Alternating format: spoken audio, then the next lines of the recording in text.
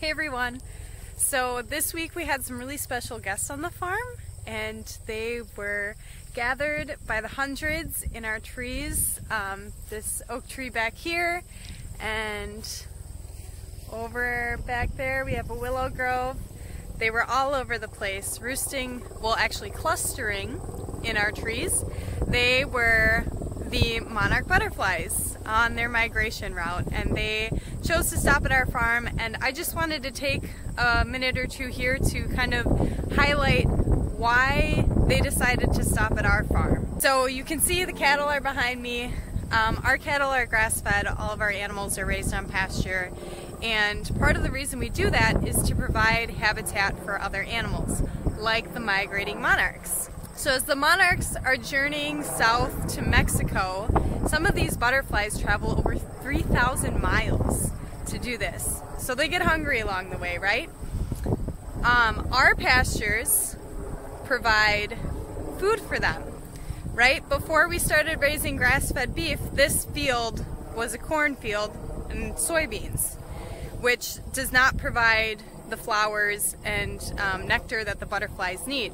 So since we have pasture, there's food, and with the trees, there's habitat available for them to collect, take a rest, get some food before they move on.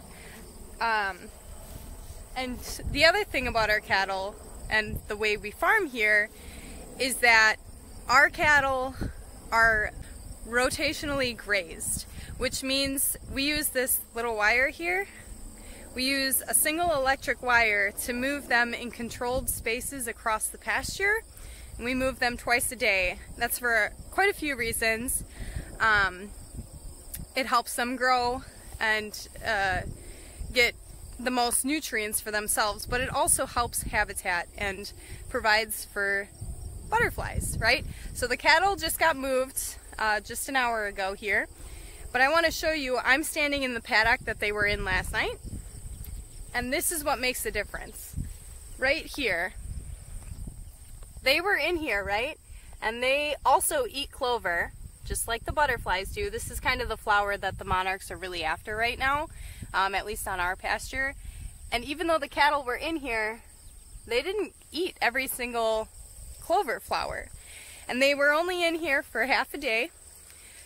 So that means, and they're in this one now, which they'll be in until this evening before they move again. So that constant movement helps to keep the cattle growing, but it keeps the pasture thriving. There's different butterflies and insects and birds bopping up and down in this paddock that the cattle already grazed.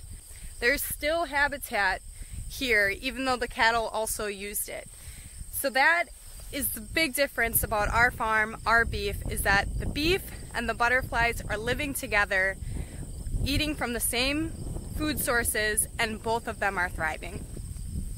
So, let me know if you have questions. I'm not an expert on monarch butterflies, but um, I can answer any questions about how the beef and the butterflies work together to make life amazing, I guess.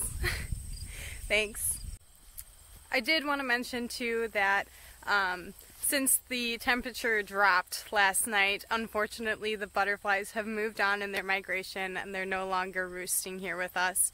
Um, but hopefully, I mean this happened two years ago to our farm as well, so we hope every year that they come. Um, stay tuned next year and hopefully they'll they'll be back again if you wanted to come and see them yourself. Otherwise, um, I did catch this short, brief video um, of kind of the wow effect that they have when you um, stumble upon them in the trees. So go ahead and enjoy that and we'll hear from you.